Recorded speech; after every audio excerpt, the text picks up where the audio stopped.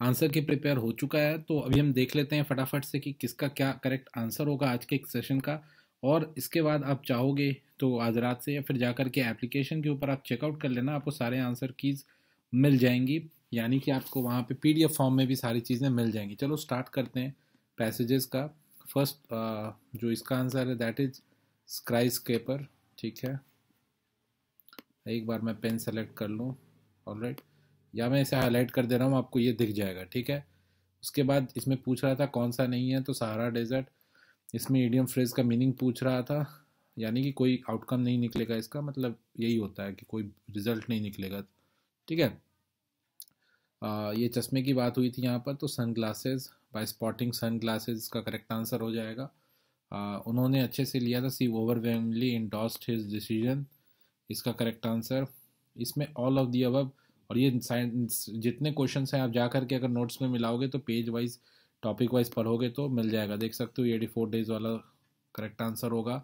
उसके बाद man is powerless because of fury of nature जो कि फ्लड और जितने भी परेशानियाँ होती हैं उस फ्लड से वो बताया गया था वहाँ पर।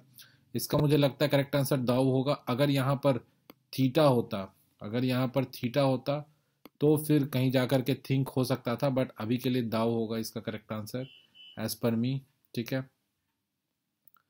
चलो नेक्स्ट पेज पर चलते हैं। एक्चुअली मैं एनोटेटर यूज़ कर रहा हूँ आपको करेक्ट आंसर्स बताने के लिए। आयरलैंड फटाफट मूव करेंगे क्योंकि इसमें आपको ज़्यादा टाइम वेस्ट ना हो। महात्मा गांधी, ठीक है स्पीच की है तो इसमें option number D is the correct answer and after that trusting कितने जनरेशन्स की बात हुई है? तो थ्री जनरेशन्स की बात हुई है। डिसिप्लिन इन डेली लाइफ का है तो correct answer is first one, guarded by specialist उसके बाद आपसे पूछ रहा था आर के नारायण के पेंटर ऑफ़ साइन के बारे में, उसका करेक्ट आंसर होगा गल्फ़ के बारे में पूछ रहा है तो यार देखो गल्फ़ ऑफ़ कच्छ ऐसे कट जाएगा, पर्शियन गल्फ भी कट जाएगा, गल्फ़, स्ट्रीम और बाकी चीज़ें होंगी, और हो सकता है इसमें कुछ एरर हो तो आप हमसे पूछ सकते हो बाद में, या फिर डिस्कस हम कर सकते हैं कमेंट्स में। एग्जल्टेड अब यहाँ पे पर्शियन की बात हो रही है, ठीक है? जब पावर एंड ग्लोरी की बात हो रही है, जब आप देखोगे तो यहाँ से आपको पता चलेगा कि एक इसका करेक्ट आंसर है। और एक चीज़ और ध्यान देना ऑल ऑफ़ दी अबव वाले बहुत सारे सवाल इन्होंने पूछे हैं, यानी कि जिसके उत्तर इन्होंने क्या दिए हैं? ऑल दी अबव दिए हैं। तो इसलिए इस बार कंफ्यूज नहीं होना है, कई बार हम लोग कंफ्यूज हो जाते हैं। इसका करेक्ट आंसर सावर होना चाहिए, मेरे मुताबिक। फाइन प्रोनाउंसिएशन करेंगे तो आप देखेंगे ए यू का यूज़ आएगा।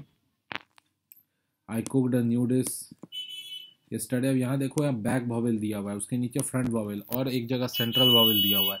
तो तीनों यहाँ पर यूज़ किया है। तो बैक वॉवेल में B is the correct answer caught हो जाएगा आपका फ्रंट वॉवेल और अभी एक चल करके एक सी ओ टी आंसर होगा, जिसमें कि सेंट्रल वॉवेल की बात होगी। ठीक है? तो सेंट्रल वॉवेल का भी सवाल है, आगे चल करके, याद रखना है आपको इस चीज़ को।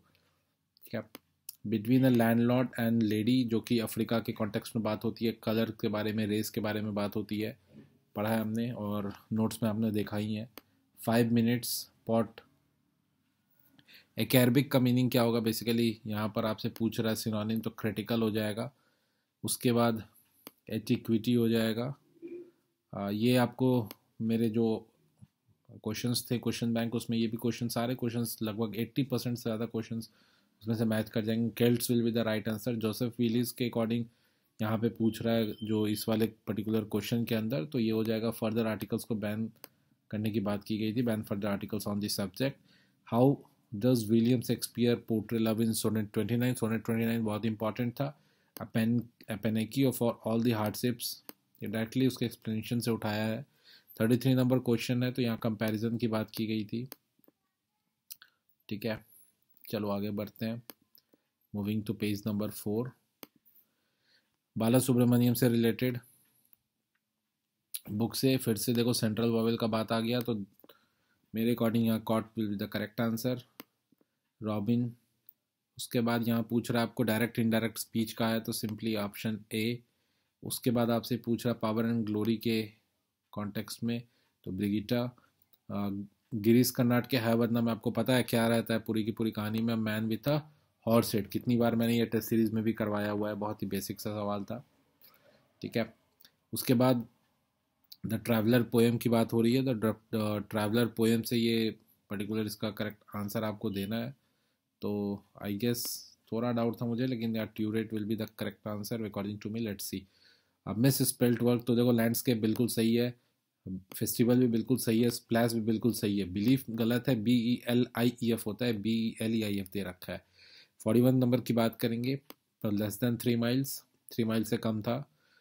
ए सी बॉक की बात करेंगे तो fifty A D around fifty A D Joseph Willy के रिलेटेड क्वेश्चन था तो मेरे को जहाँ तक लग रहा है, हल्का सा मुझे इसमें डाउट्स है बट स्पेकुलम वीटे लेके चल सकते हैं। आई गेस ये नहीं होना चाहिए इट वॉन्ट बी सो या इसको लेकर के आप चल सकते हो।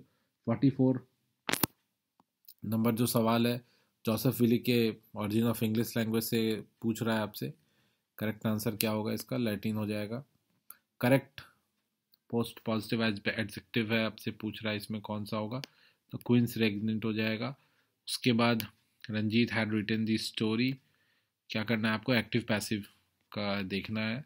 चेंज करना है एक्चुअली में write rewrite the sentence in active voice देख सकते हो पैसिव दे रखा है। इसको आपको एक्टिव में कह रहा है कि फिर से री राइट करना है। तो इसका करेक्ट आंसर हो जाएगा। Sona was writing a letter to her father forty eight number का क्वेश्चन है, आपसे पूछ रहा है कि विच ट्राइब को एग्जिस्टेड विद द केल्स तो Anglo Saxon forty ninth number question Sarat his husband with implicit trust in his wife, fidelity. 50 number question का आंसर भी ऑप्शन नंबर ए होगा. 51 दो द सिविलाइजेशन की बात हो रही थी सी ई एम जोड वाले के तो आपने पढ़ा भी था तो freedom from pain 52 Joseph Willy book origin of English language से related fill in the blanks बना करके दिया है तो अगर आपने एग्जैक्टली exactly ये चीज़ मिस की होगी तो आपको दिक्कत हुआ होगा otherwise it can be directly answered as French 53 के ऊपर बढ़ते हैं, फिर 53 पर आते हैं 53 का करेक्ट आंसर क्या होगा हैप्पी यानी कि as a happy 54 Frank O'Connor the man in the house जिसमें वो माँ के लिए कंसर्न होता है, वो वाली आपने समरी देखी होगी। मैंने बताया भी था कि इंपॉर्टेंट है, आप पढ़ सकते हो उस टॉपिक को। तो वहाँ से है। तो वो जब जाता है मेडिसिन लाने, वहाँ की इंसिडेंट होती है, याद होगा आपको तो one trick one girl tricks him into soiling it all right fifty five number जो सवाल है, वो आपको पूछ रहा है, कितने बच्चे थे, ये तो बहुत बेसिक सा सवाल था, आठ बच्चे, जो कि ट्रांसलेशन था। तो ये काफ़ी अच्छा इजी क्वेश्चन पूछ लिया इसने। Eight will be the correct answer fifty six का correct answer option number P हो जाएगा। आपको चेक करना था किस लाइन में एरर लग रहा है, ठीक है? सो या फिफ्टी सेवन नंबर पर आते हैं। स्कूल ऑफ़ बारबेनिया ये भी बहुत ईजी है। मतलब ये बेसिक जब हमने पढ़ाया था ना, जो theme and settings of the letter to a teacher translation उन सब में ये चीज़ें आ गई थी। Relative clause identify the sentence with the तो the noble man whom you met in my teacher is my teacher right fifty nine number का जो क्वेश्चन है, उसका करेक्ट आंसर है plan crafted ad hoc that is the Nijar reaction sixty Doctor Faustus by Christopher Marlowe how does Lucifer quell Faustus misgivings eventually ठीक है? तो इसका correct answer क्या है? By making the seven deadly sins Girish Karnad Hayavadana जो play है, उसके related question आ गया तो एक ही क्वेश्चन को लगभग दो तरह से पूछ लिया तो head will be the correct answer 62 का क्वेश्चन का हो जाएगा विथ इज़ ब्लड आपको पता होगा फॉस्टर्स में मैजिक एंड ये चीज़ों की बात हुई है, यहाँ पर इसका करेक्ट आंसर होगा with his blood sixty three number question में होगा पार्ट थ्री करेक्ट प्रीपोजिशन आपसे पूछ रहा है सिक्सटी फोर नंबर में तो आप देखोगे तो इसमें करेक्ट प्रीपोजिशन क्या होगा beside he side beside me ठीक है टू किसी एंगल से नहीं ऑल्सो का भी कोई मतलब नहीं लग रहा है तो बिसाइड मी ठीक है? हाँ कंफ्यूजन हो सकता है नेक्स्ट टू मी के अंदर और बिसाइड मी के अंदर बट या सुटेबल बिसाइड्स मी होना चाहिए। Sixty five number question if R K Narayan तो बेसिकली आपको पता है पॉट की बात हुई थी, जो कि दासक बताता है कि उसने पॉट में, ये मैंने वीडियो भी आपको बनाया था यूट्यूब के ऊपर अवेलेबल है तो आप चेकआउट कर सकते हो। सिक्सटी सिक्स का आंसर क्या हो जाएगा? To fasting and feasting how many parts it comprises of sixty seven lead kindly light का to able to take one step ये गॉड से क्या बात हो रही है? और ये चीज़ों की बात इसमें की गई थी, आपने पढ़ा होगा तो। Sixty eight patterns sixty nine number पर आते हैं तो Prospero is suddenly reminded to thread of his life चलो सेवेंटी ओके या क्वेश्चन नंबर सेवेंटी फटाफट करेंगे और ऑलरेडी मैं देख रहा हूँ वीडियो दस मिनट के लगभग हो चुका है।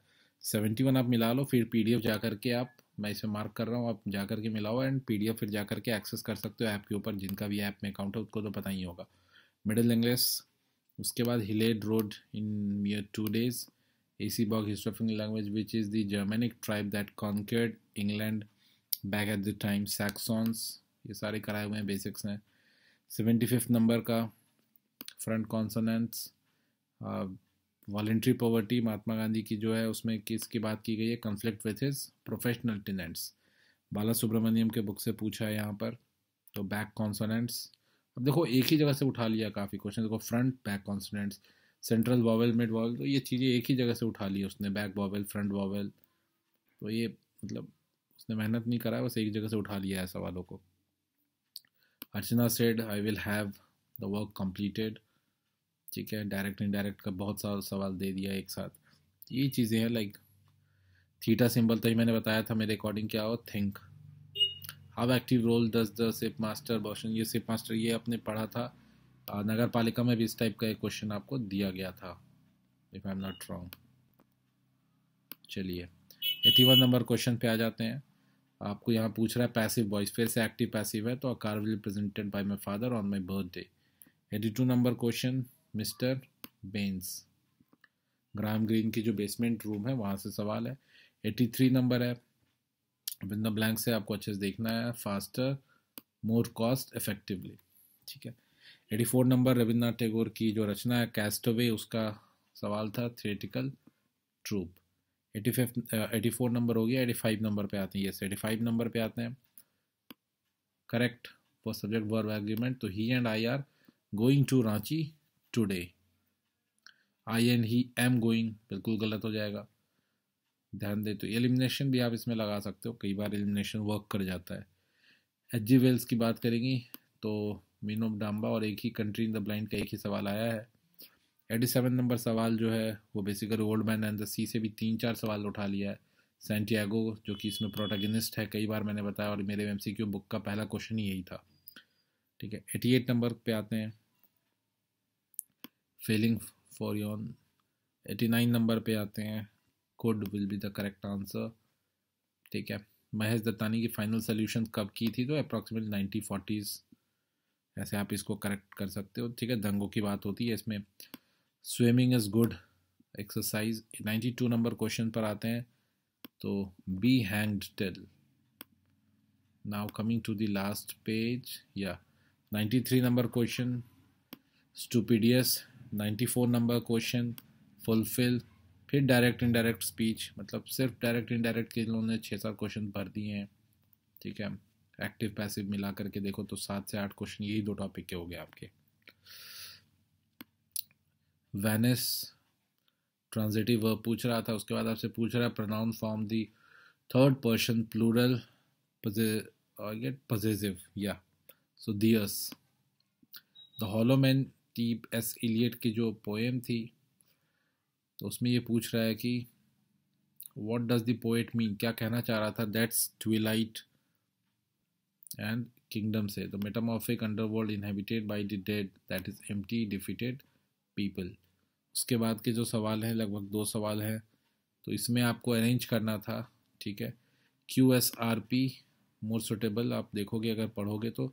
The thieves escaped with the convenience of the guards ठीक है? Q S R P and the last question but not the least a pen has was given to me by Mahmood so या this was the complete answers for all the hundred question of paper two English I hope you are understood it और आप जा करके checkout कर सकते हो app के ऊपर. डिस्क्रिप्शन में लिंक है कमेंट्स में लिंक है, ठीक है?